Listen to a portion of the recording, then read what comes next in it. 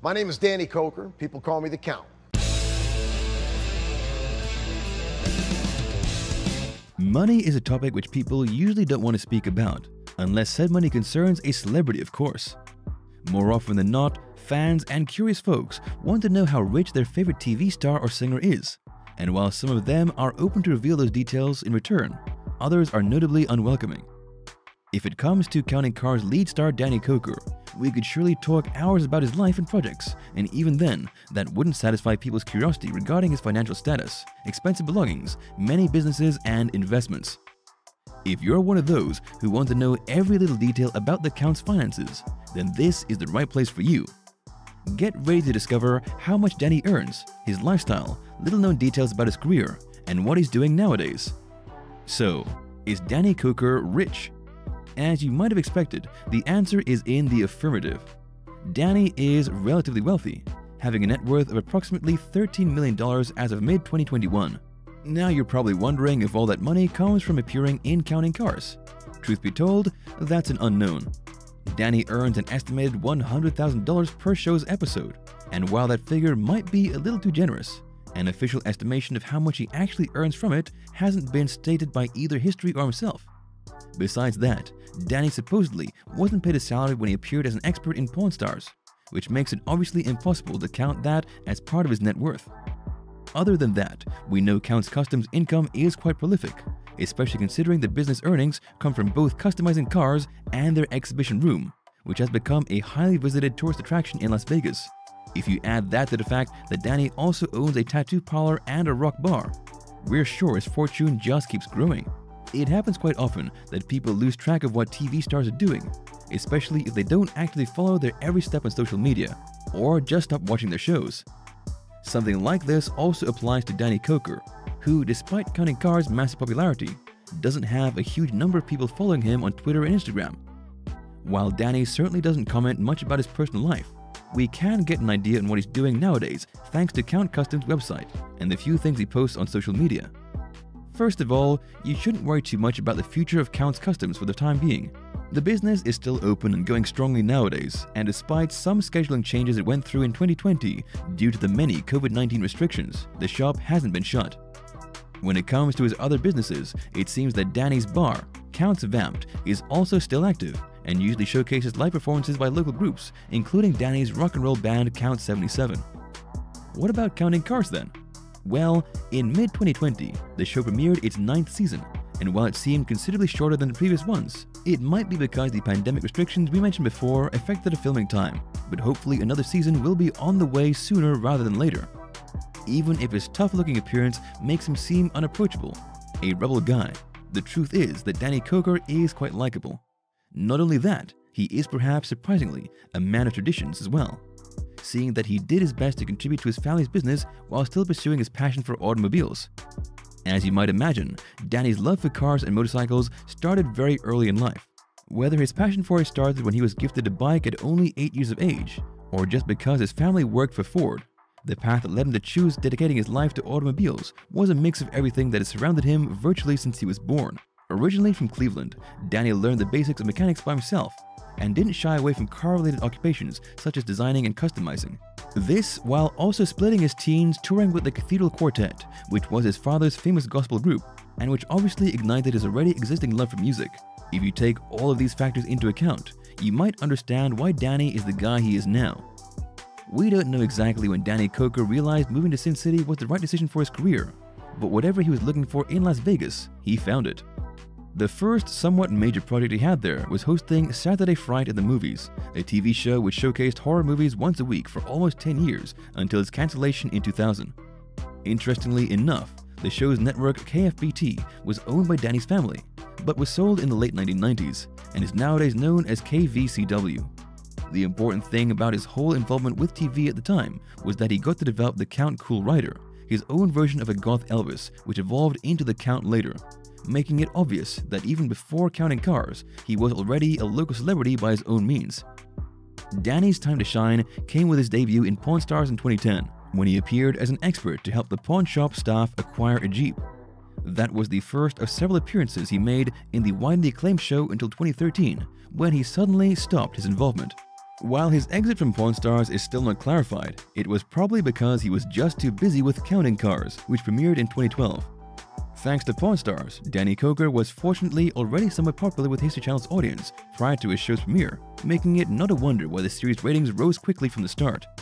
To date, Counting Cars has been on the air for nine seasons and has featured celebrities such as Dee Snider, Ziggy Marley, and the Harrisons guys from Pawn Stars. Even more, while the wide number of successful projects showcased in it is hard to count, those have greatly inspired and entertained the show's audience, whether they're motorheads or just casual viewers. Of course, the show's popularity can be partially attributed to the promotion Pawn Stars granted Danny and his business since his first appearance in that show. But it's undeniable that Counting Cars gained fame by its own means. As proof, data sites such as RatingGraph.com confirm that the series has an average of 7.1 audience points throughout its nine seasons, while also consecutively achieving highly rated season premieres. At this point, you might be really curious about how Danny Koker was able to build such a fortune by himself. While the truth is that most of his money comes from his several businesses added to his income from TV, we're still going to give you a deeper insight into the way his investments came to be so successful. If you're wondering what is really the story of how Counts Kustoms came to be, it actually goes a long way back to the late 1990s when the business was established through Danny's association with his father. However, how Danny came up with the idea was another thing altogether. It started when he asked Shannon Icow to build a chopper for him, Unexpectedly, the bike took too much attention, and it was right then when Danny sensed it was a good business opportunity. Along with iCow, Danny established Counts Kustoms as a body shop, at first mostly specializing in choppers and other bikes, having a specific favoritism for old ones, but integrating modern technology and new customizing techniques in their projects as well. Interestingly enough, in 2007, Danny told the website RideOnTV.com that he was involved in the design process of every bike that entered the business's doors. The big effort he and his early staff put in to grow Counts Kustoms from scratch was well compensated, as the shop eventually expanded to cars as well. Budgets also increased, as nowadays the charge is several thousands for every project they worked on. In the early 2010s, Danny associated with Motley Crue's vocalist Vince Neil to found Feels Good, a rock and roll bar located in Sahara Avenue, Las Vegas. However, only a couple years later, Danny was left as the bar's sole owner when Neil sold his share of the business. Subsequently, Feels Good was remodeled and became what is nowadays known as the Counts Vamp'd. As you should have already guessed, Counts Vamp'd is entirely themed as a rock bar, offering menus showcasing classic bands' names and quite often live events. In 2016, it was rumored that the business was on sale for over $2 million, but it was later confirmed that only its building was on sale, and Danny kept the bar ownership. Years later in 2020, the bar faced several problems due to the COVID 19 pandemic spread, which inherently restricted the number of customers and live show attendance. As the Las Vegas Review Journal informed at the time, the situation led Counts Vamp'd to lose several staff members who could no longer endure the lack of available work. Fortunately, at some point in early 2021, Counts Vamp'd resumed hosting live shows if with slightly smaller audiences. Other than that, Danny also owns Counts Tattoo Company, a somewhat private tattoo parlor, also located in Sahara Avenue. The shop offers its clients VIP rooms and a wide range of creative options to enjoy. Danny Koker always knew his passion wasn't limited only to cars and bikes, as it went well beyond that. As mentioned, Danny's childhood was spent traveling with his father's gospel group, which greatly influenced his views and musical taste. Although, of course, Danny became a 1970s and 80s rock and roll band's fan while growing up. He had actual experience singing as well. He didn't publicly show off his talent until 2011 when he started joining casual session concerts with his friends John Zito, Barry Barnes, Stoney Curtis, and Paul DeZibio in his bar Counts Vamp'd, forming what we know today as Counts 77. Although the band only initially played 1970s cover songs, their live shows went so well that they decided to make a permanent deal and the fact Danny was the bar's owner obviously was of help as well. In 2014, the band was signed to Shrapnel Records and released their first self titled album, followed by Soul Transfusion in 2017. All in all, Count 77 hasn't been as financially profitable as his other projects, but when it comes to music, Danny is probably more interested in having fun than making money. Despite how public the life of a celebrity can be, Danny Koker is one of the very rare reality stars who prefers not to make a big deal of his private life. If you have been paying close attention to him, you might already know what we're talking about, but if not, let us explain. The truth is that Danny is very private when it comes to his personal life, not revealing a lot about it, even during interviews or on TV. Nevertheless, we managed to gather a couple of details about his essential part of his life, such as the name of his wife, Korie, who is the manager and entertainment director of Counts Vamp'd. However, we don't know for certain if Danny and Korie have children, or even when they married, but the relationship looks strong and stable. We can't talk about Danny Koker's financial situation without mentioning his very impressive car and bike collection. If you know Danny's taste, you won't be surprised that his collection mostly consists of classic automobiles such as a 1966 Mustang GT, a 1956 Chevy Stepside, and a 1974 Roadrunner. However, the car that is still missing from his garage is the 1972 Lamborghini Miura SV, which he's still looking for unsuccessfully.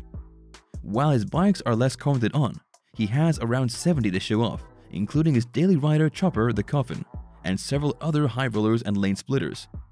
As far as we know, the most money Danny has ever spent on a car for personal use is $100,000. But if we can assure you of something, it's that collecting cars is more than just business for him, and is one of his life's passions. As you've obviously noticed already, this interesting character has several of those.